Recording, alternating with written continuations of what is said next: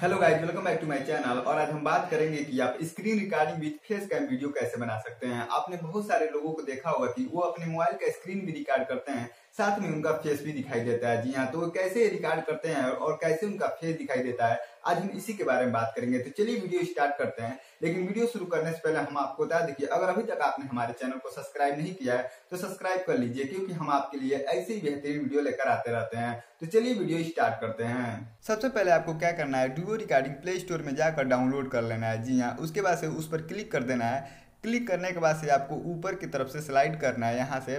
उसके बाद से यहाँ पे आप देख रहे होंगे सेटिंग का ऑप्शन दिखाई दे रहा है। जी हाँ इस सेटिंग पर क्लिक करना है और यहाँ पे कैमरा दिखाई दे रहा है। इस पर आपको क्लिक कर देना है। जी हाँ क्लिक करने के बाद से देख लीजिए, मेरा फेस यहाँ पे दिखाई दे रहा है। आप चाहें तो इसको कस्टमाइज कर सकते हैं, बड़ा या छोटा कर सकते हैं। जैसे मान लीजिए, मैं इसको छोटा कर दे रहा हूँ।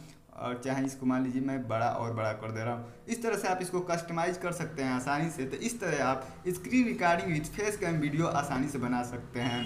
देख लीजिए, ये स्क्रीन रिकॉर्डिंग भी हो रहा है और मेरा फेस कैम वीडियो भी आसानी से बन रहा है। इस तरह से आप easily screen recording face cam video बना सकते हैं। तो ये थी हमारी आज की जानकारी। आई होप ये वीडियो आपको पसंद आया होगा और आप इसे लाइक शेयर ज़रूर करेंगे। Thanks for watching